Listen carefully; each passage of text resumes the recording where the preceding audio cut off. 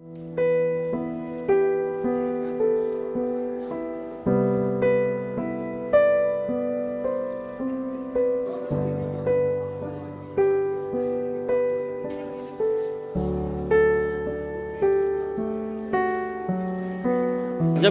اپنا کام کر رہے ہوتے ہیں، جب اپنے کام کی انسپریشن لے رہے ہوتے ہیں، تو بینگ اے کیلیگرافر ضروری نہیں کہ ہم نے کیلیگرافی اور اسکرپٹ کو دیکھنا ہے۔ ہم اور بہت ساری چیزوں کو دیکھ رہے ہوتے ہیں۔ آپ کے پاس لینڈسکیپ ہے، آپ کے پاس پورٹریٹس ہیں امیجز ہیں، کتھک ڈانس ہے۔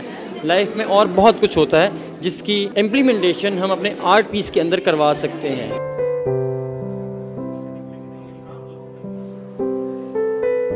کلر پیلٹ کی بات کریں تو زندگی بھری ہوئی ہے کلر پیلٹس کے اندر۔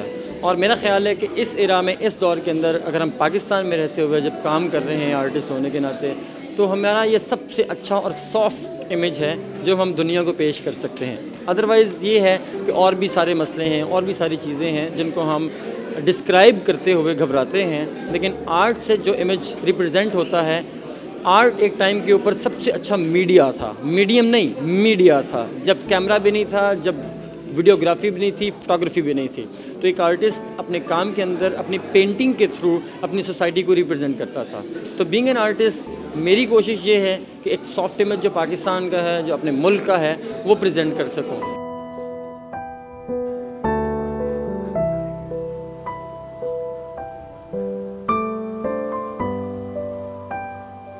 پاکستان کی جو آرٹ انڈسٹری ہے آرٹ انڈسٹری ہم اس کے اوپر فوکس نہیں کر رہے۔ دنیا بھر میں پاکستان سے اتنا آرٹ لوگ خریدتے ہیں اور بیچا بھی جاتا ہے۔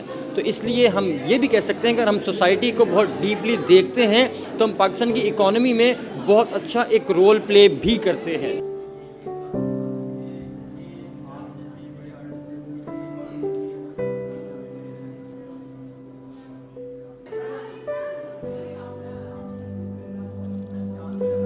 میرا کام جو ہے، میرے کام کے بارے میں، میری چیزوں کے بارے میں، میرے امیجز کے بارے میں، گرین بلو ریڈ جتنے بھی کلر پیلٹ ہوتی ہے، یہ ساری کی ساری ایک وائبرنٹ کلر پیلٹ ہے جس سے ہم اپنے ملک کا اور بینگ این آرٹسٹ اپنا ایک پازیٹیو رول پلے کر سکتے ہیں۔ بی پازیٹیو اور ہمیشہ پازیٹیو رہیں، یہی میرا ایک لوگو ہے، یہی میں کہنا چاہتا ہوں۔ اور آر ٹی وی کا بھی ایک رول ہے، جو آرٹ کو آگے لے کے چل رہے ہیں، جو لوگوں کو دکھا رہے ہیں۔ So thank you for the R T V as well اور اچھا ہے جی اور آپ آگے بڑھیں، پھلیں، پھولیں اور اچھے کاز کو آگے لے کے چلیں۔ یہ بھی آپ کا رول ہے۔